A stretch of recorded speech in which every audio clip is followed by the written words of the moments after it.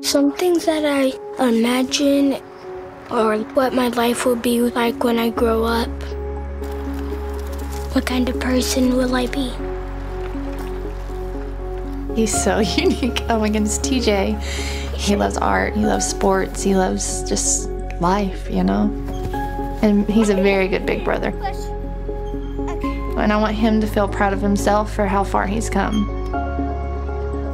Last year, our dryer went out. We didn't really have the extra money to get a new dryer. Are you guys buckled? And sometimes, if the clothes were too damp, we would have to send them to school in something that didn't get washed yet. It was very stressful.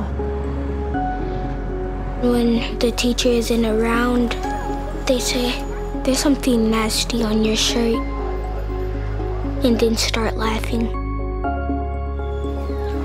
I know that I have students that think, would I rather stay home today than to walk into a classroom and wonder if people are whispering about me?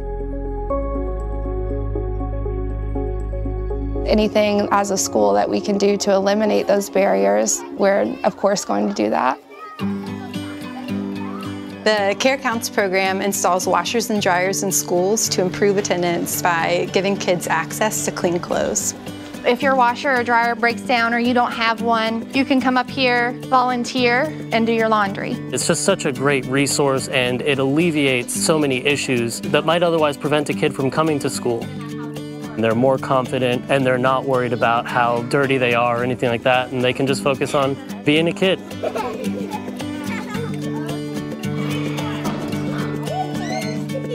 Now that our community knows that we have this, everyone is starting to be involved with our school. You can volunteer while you're waiting on your laundry. You're out and you're communicating with other parents and with the teachers, the students. Seeing that change is just amazing.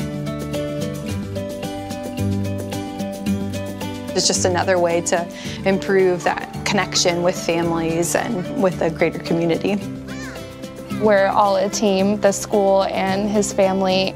We're going to work together to give him everything that he needs.